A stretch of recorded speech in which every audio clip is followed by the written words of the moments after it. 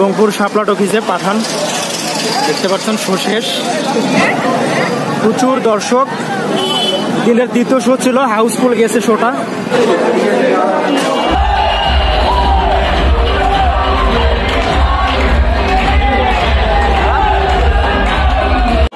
নাকি পাঠান দেখলেন? হ্যাঁ ভাইয়া, আমি পাঠান মুভিটা দেখলাম। খুব এনজয় করছি।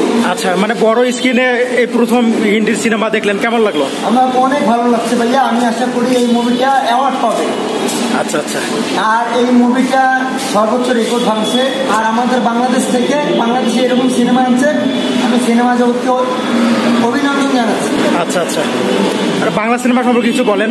বাংলা সিনেমা এখন কি এগিয়ে যাচ্ছে? আমরা আসলে আমি মনে করি বাংলা সিনেমায় যখন সালমান যা ছিল জি, জি। সবাই ক্লাস ছিল। সালমান শাহ আঠাশটা কুড়ি করছে আঠাশটাই ক্লাস ছিল।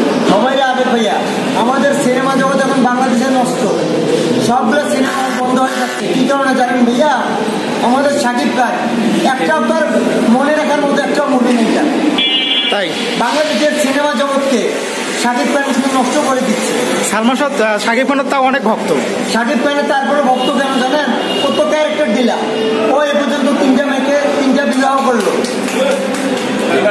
উনি তো আমাদের বাংলাদেশের সুপারস্টার ভাইয়া। বাংলাদেশের সুপারস্টার না বাংলাদেশের কলঙ্কিত সুপারস্টার সে। আমাদের বাংলাদেশের সিনেমা জগৎকে নষ্ট করছে। আচ্ছা আচ্ছা। আমরা অনন্ত জলিলের সঙ্গে শাহরুখের তুলনা করা হয়। অনন্ত জলিল। ভাইয়া এই সম্পর্কে কি বলবেন? অনন্ত জলিল কিছু মুভি করে ভালো আছে ঠিক আছে? কিন্তু ওর ভয়েসটা। একদম বাজে। আরও কিছু আরও কিছু অ্যাড করছিল যে ওর পক্ষে কি? অসম্ভবকে স্বভাব করাই ওর কাজ এটা ভুয়া কথা বলছে। জি জি। আপনি শাকিব খানের লিডার আমি বাংলাদেশ দেখছেন এটা তো সুপার হিট বাংলাদেশ হ্যাঁ হ্যাঁ শাকিব খানের। লিডার আমি বাংলাদেশ। লিডার আমি বাংলাদেশ। শাকিব খানের কোনো মুভি আমি দেখি না ওর একটা ক্যারেক্টার দিয়া